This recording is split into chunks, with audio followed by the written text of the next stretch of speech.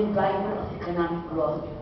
In recent years, however, we have watched how tourist arrivals in Baguio have declined from as high as 1 million visitors in 2000 to only 770,000 in 2009.